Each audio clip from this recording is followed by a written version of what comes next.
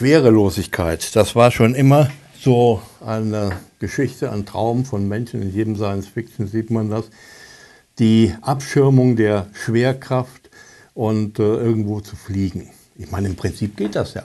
Wenn man genügend starke Magnetfelder hat, kann man sogar Wasser fliegen lassen, so ab 15 Tesla. Äh, man hat auch Mäuse fliegen lassen. Es geht schon. Nur solche Magnetfelder zu erzeugen, das äh, geht nicht so einfach. Wir haben die Energie nicht, wir haben die. Okay.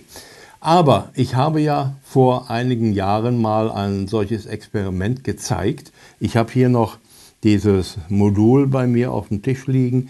Da ist ein kleiner Prozessor drauf und daneben ist dieser Galgen, da ist ein Ferritstab mit einer gewickelten Spule. Läuft nicht mehr, Programm habe ich nicht mehr gefunden. Ich muss das Ding neu flächen mit dem Programm. Brauchen wir ja auch nicht. Wir haben doch alles äh, auf den Rechner und Sie haben alles bei YouTube im Internet. Computer Club 2, Folge 20 oder Schweberegler. So, schauen Sie sich das an. Das war bei NRW TV dort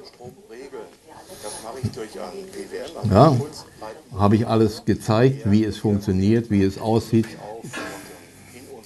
wie es aufgebaut wird. Und man kann sehen, also eine komplette Erklärung dazu, ich muss es ja nicht hier laufen lassen, das können Sie ja selbst zu Hause machen.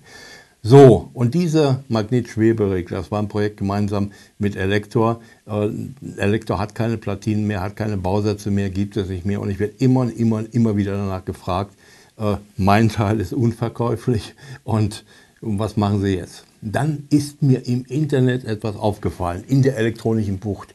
Aber ich will mal erstmal zurückgehen in die Geschichte, wie das mal früher gewesen ist. Schauen Sie sich diesen Eumel hier an.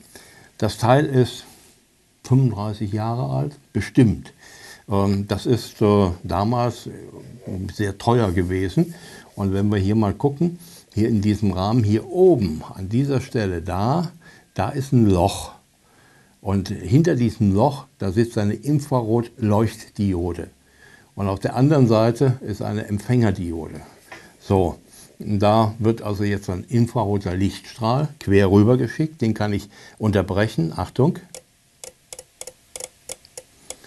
So, und wenn ich ihn komplett unterbreche, das ist nicht gut, aber wenn ich ihn einem bestimmten Bereich äh, unterbreche, also den Lichtstrahl äh, zu etwa zur Hälfte abdecke, dann gehen unten die äh, Lampen an. Das sind aber nur Signallampen. Es geht hier um diese Puppenstuben-Disco-Kugel. Wenn ich die in die richtige Höhe bringe, Lampen sind an, kann ich sie loslassen. Und wenn ich es richtig gemacht hätte, würde sie schweben. Also machen wir es nochmal. Das ist immer so ein bisschen problematisch. So, und wir sehen, die hängt oben am Magneten. Jede kleinste Erschütterung, die stört schon dieses sehr sensible Gleichgewicht. Und äh, wenn ich, ja, ich wackel hier ein bisschen am Tisch rum und das ist das Problem. Jetzt muss ich gucken, wo ist der Magnet drin, denn in der Kugel befindet sich ein Magnet. So, aber ich hoffe mal jetzt nicht wackeln. So, ich gehe mal so ein bisschen zurück. Also, das Ding schwebt tatsächlich, aber ich habe wieder gewackelt. Äh, auch stundenlang, nur ein starker Luftzug und so. Ja, damals ging es nicht anders. Da hat man eine Lichtschranke genommen, Infrarot, damit man nichts sieht, und äh, hat diese Lichtschranke äh, dann genommen, um ein Magnetfeld zu regeln.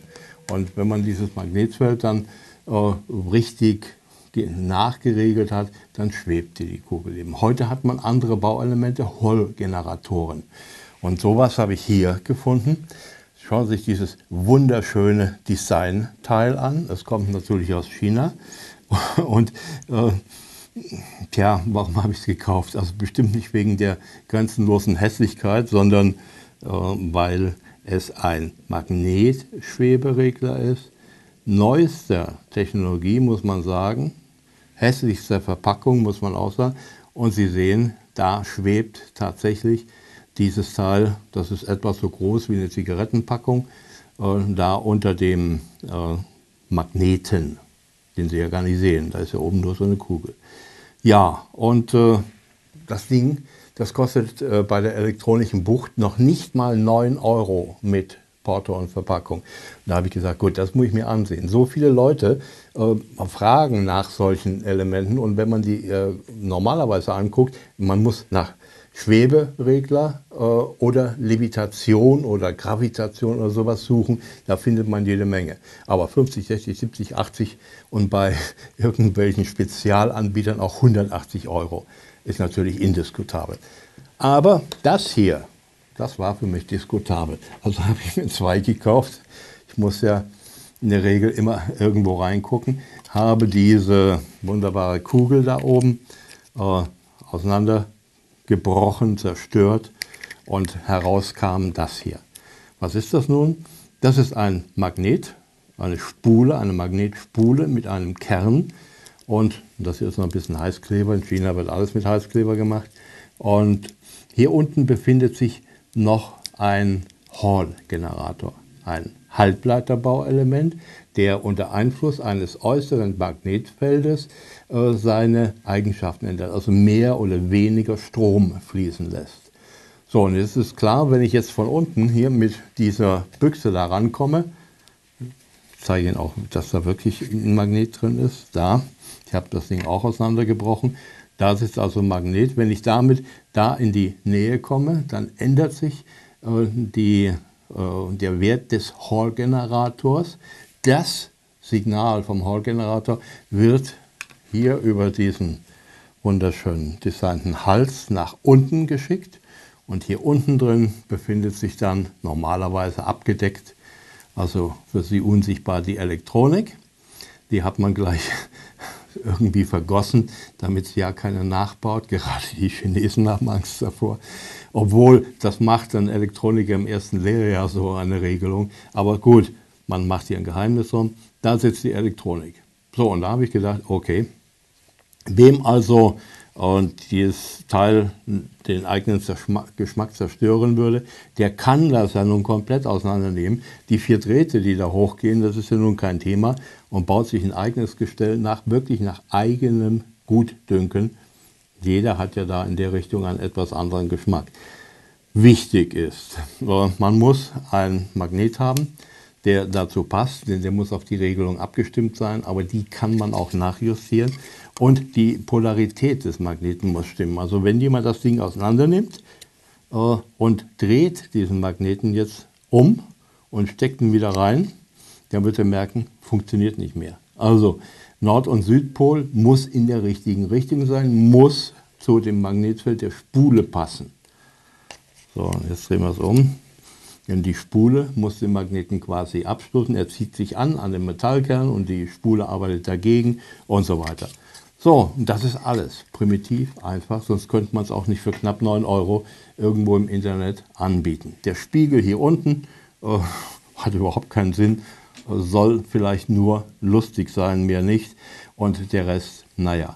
Also, es ist sehr einfach auseinanderzunehmen. Man kann auch gar nicht so viel kaputt machen. Oben äh, diese, diesen Deckel, den ich da zerstört habe, den kann man einfach zusammendrücken, bis er langsam aufplatzt und dann aufhebeln und dann kommt dieser Krempel raus.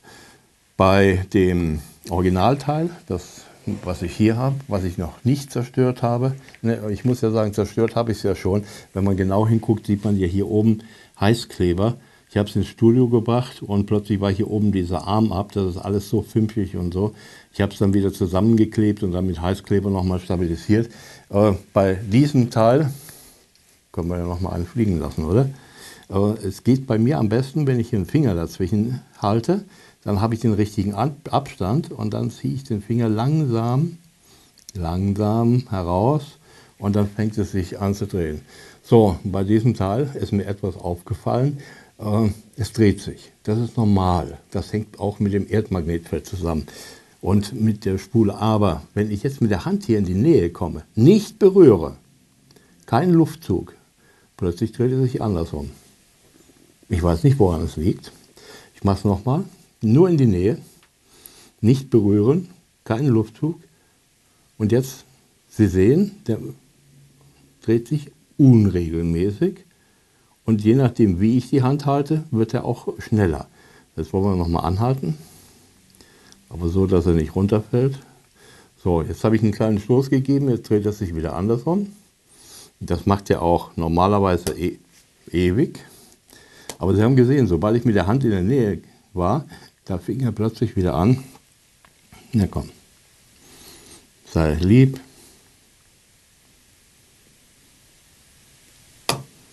Ja, er will, sobald meine Hand in der Nähe ist, will er sich andersrum drehen. Deswegen gelingt es auch nicht. Ich muss sehen, dass ich ihn so, jetzt dreht es sich so rum. Nochmal, nur die magische Hand in die Nähe.